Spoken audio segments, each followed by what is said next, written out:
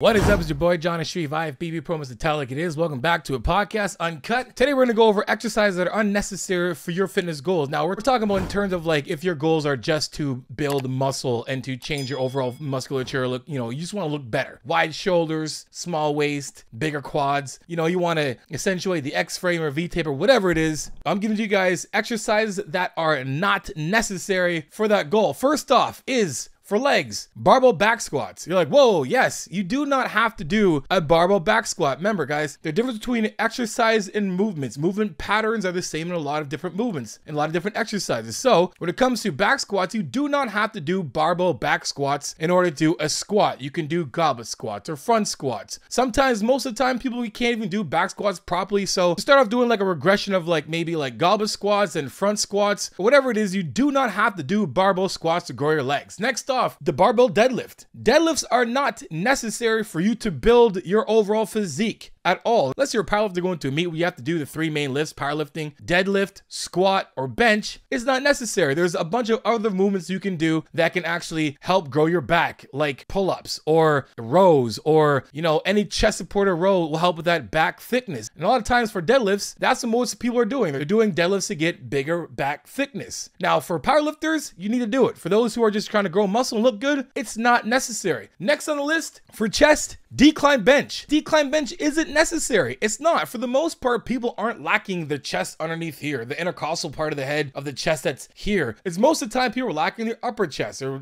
they were lacking their main part of the chest and then their upper chest, pec minors, the clavicle head, wherever you want to call it. That's the part that needs the most work. But you don't have to do decline bench to have a better chest. You can do something as easy as machine dips, dips, whatever. That might be better for you to do anyway than doing decline bench. Well, guys, check it out. A lot of you guys are watching the video, but not subscribed, so check it out. Subscribe to the channel and hit the notification button so next time I put a video, we'll the first ones to get it. And also, guys, hopefully by now you like the video. As short as it is, hope you guys like it. So hit the like button.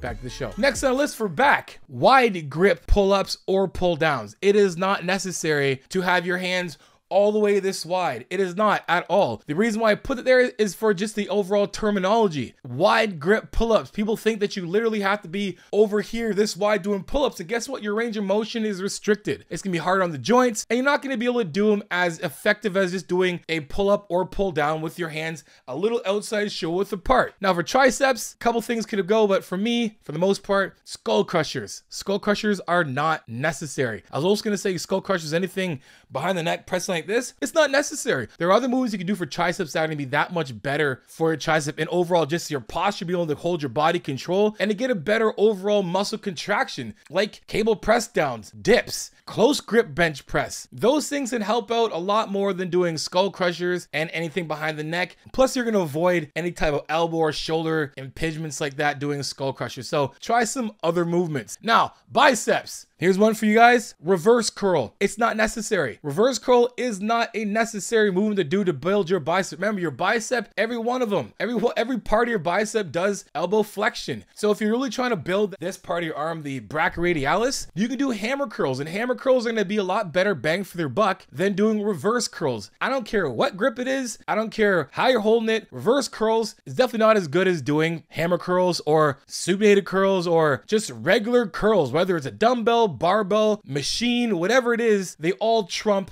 reverse curls. Now here it goes, shoulders. Shoulders, guys, we do not need to do anything behind the neck and pressing unless you're doing a legitimate actual snatch grip press. Snatch form. It's not necessary. And again, this list is for those who are just trying to build muscle. You're just trying to look better. You're trying to take your physique from point A to point B. I'm not talking about performance. I'm not talking about you doing a powerlifting meet or Olympic lifting meet or whatever it is. I'm talking you just literally want to build your muscle. These exercises are not necessary. So again, shoulders behind the neck press is not necessary. If you want to hit the rear delts, do standing overhead press. That's going to work. And then start capitalizing on some like accessory movements like reverse pec deck or bent over reverse flies or even cable flies, reverse cable flies. Those are all going to hit your rear delts that much better without putting yourself in a vulnerable position to get hurt. So barbell squats, don't need it. You don't have to load your spine to build muscle. Deadlifts, again, we can build our back thickness with other movements. Any type of row, chest supported row, dumbbell row, even rack pulls, I would trump overdoing deadlifts in terms of building your overall back muscle. Then going to chest, decline bench, not necessary at all. Decline bench. Next on that was actually gonna be flies, but again, dumbbell, decline bench, whether it's dumbbell or barbell, not necessary. Back, wide grip, don't have to do it. Triceps, skull crushers or anything behind the neck, not needed. Biceps, again, reverse curls easily can be trumped from just doing hammer curls. And then last but not least, shoulders, behind the neck press again. Anything behind the neck, I don't recommend it. Anyway, guys, that's my list, guys. Hope you guys enjoyed that, guys. If you did, make sure you guys like, subscribe, and share. You know, McCummel, the tell like it is transparent, vulnerable truth. For coaching, jonnishreve.com. If you want to know more about my coaching, guys, book yourself a phone consult, 15 to 30 minutes. At the end of the consult, I deduct the consult off any package that you pick. Also, guys, make sure you guys hit the description below for those discount codes and promo codes that save your life or change life for the better, like JONNI10 for 10% off Blue Star Nutraceuticals. So go over there right now, guys, at bluestarnutraceutical.com or hit the link in the bio right now. And guys, add me on Instagram and TikTok. Send me your progress pics, your training pics, and your video clips, and I'll repost it for you guys because you know it is. Iron sharpens iron, progressive overload your life. In the meantime, keep dream chasing. Peace.